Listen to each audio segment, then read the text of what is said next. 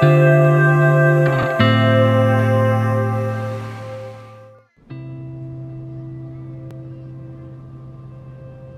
rolle, man som pædagog har i Danmark, det er, det er sådan metaforisk, hedder det ikke det? Vi pædagoger, vi støber det fundament, som fremtidens hus er bygget på.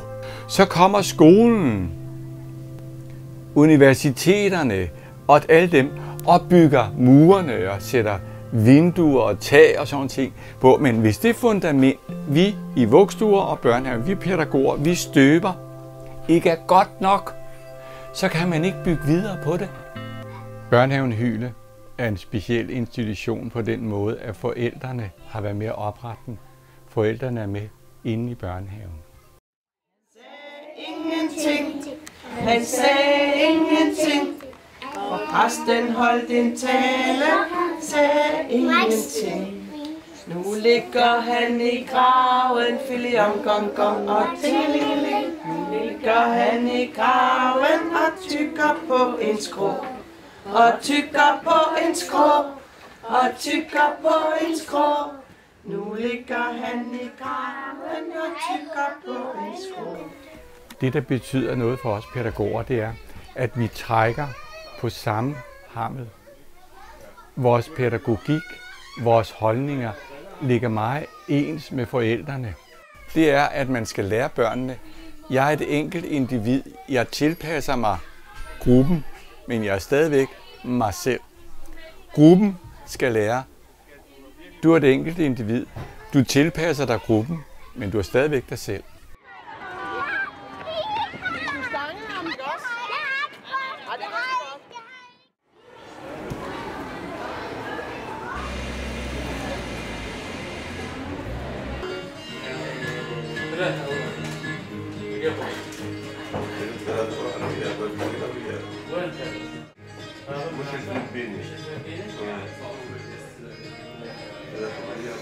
Når børnene går ud fra den her børnehave, så har de i deres rygsæk, så har de et, en forståelse for, hvordan man skaber venskaber, hvordan man opbygger sociale netværk.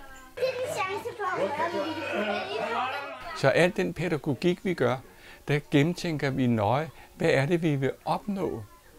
Og det vigtigste for os, det er de der sociale fællesskaber. Det sociale ansvar, det skal børnene også oplære. Det skal børnene også lære.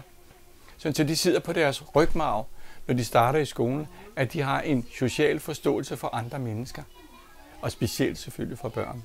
Forældrene kan svigte, men samfundet må aldrig svigte, og vi er samfundet også pædagoger.